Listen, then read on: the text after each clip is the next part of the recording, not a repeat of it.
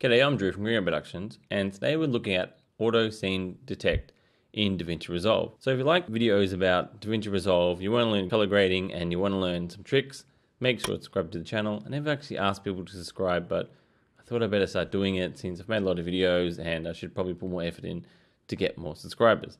So this comes about from people being messaging me on Instagram, sliding to those DMs, asking me what my process is for doing remote grading and working with XMLs.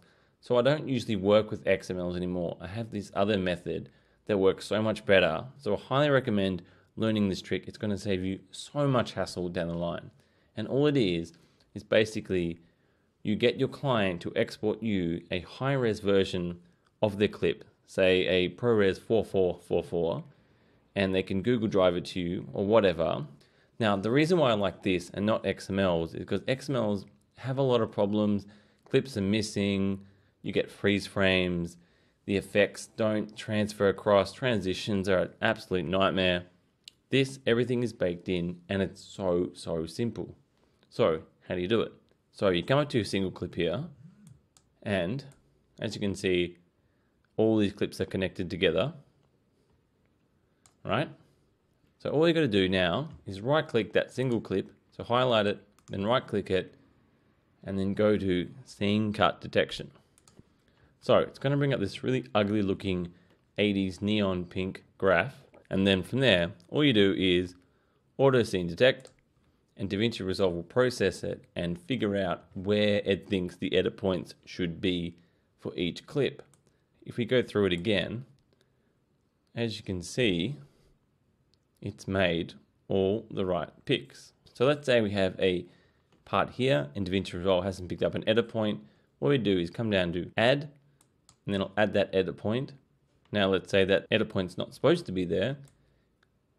So just go to the top of that edit point, come down to delete, and DaVinci Resolve will delete that edit point. And then it'll also automatically go to the next edit point.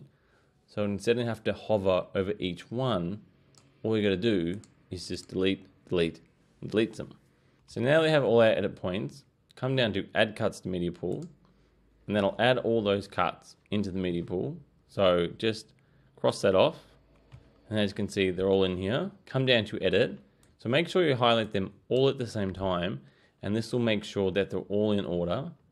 And come to your start of your edit and just put them in. And as you can see, DaVinci Resolve has put them all in order and all your cuts are perfect. So if you really want to check this, what I would normally do is I would also get someone to send me a compressed version of their music video or short film or documentary, it doesn't matter. I would bring that single clip back into their timeline. So I'd put that single clip over the top of the other clips. And then I just put the opacity down. And so just to make sure that everything is lined up perfectly, so if even more worried that it hasn't lined up, I would highlight that clip, come to the color page, and just make it a really ugly color that stands out. These are more here. You could see that, as you can see, they're not lined up properly. But of course they are because DaVinci Resolve is amazing. That's a really handy trick. I highly recommend using it or highly recommend learning at least. It's perfect for remote grading. I am so thankful that DaVinci Resolve has added into their software, and I think it's really fantastic. If you have any other questions, please leave a comment below, or you can slide into DMs on Instagram, link below. I have no problem with answering questions. I might be able to answer them straight away, but I'll definitely try and get around to answering any questions you have about Resolve or anything you want to talk about. I'm always free for a chat. So thanks very much. I've been Drew from Green Goat Productions, and have a great day.